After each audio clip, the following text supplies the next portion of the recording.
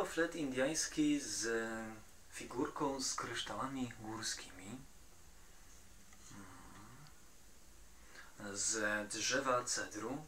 Flet basowy, niskie, głębokie brzmienie mhm. w kluczu D.